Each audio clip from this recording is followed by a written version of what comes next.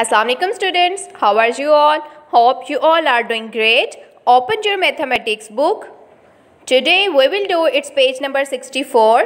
Let's learn about the concept of quarter. Students, if you have a sandwich and you want to cut it into two, you will say it is cut in half.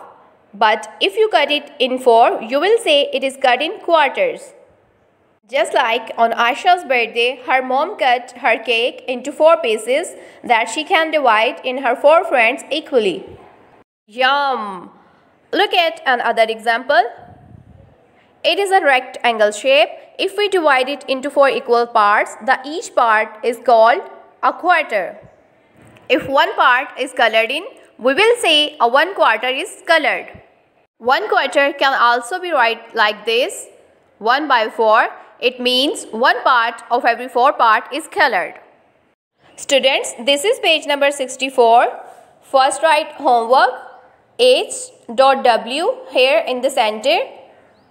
Quarter, quarter mean 1 by 4.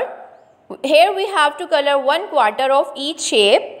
As students, I have already give you the concept of quarter in our previous activity. So look at this. This is a rectangle shape and it has four equal parts. So we have to color the one quarter of each shape. Here the one quarter of this shape is already colored. So look at the next. This is a oval shape and it has four parts. 1 2 3 4 we have to color the one quarter of this shape. So color it. Color the quarter of this shape. Move on to the next one. This is a rectangle shape and we also have to color the quarter of this shape. Color it students color it very carefully Move on to the next one. This is a square shape and we also have to color the quarter of this shape. Color it. Color it very carefully. Move on to the next one. This is a square shape and it has also four parts. We just have to color the quarter of this shape. Color it.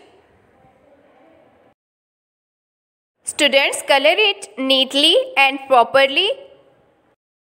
And here students we have done coloring in quarter part of each shape. Hopefully you have done this with me. We will meet in our next video. Allah Hafiz.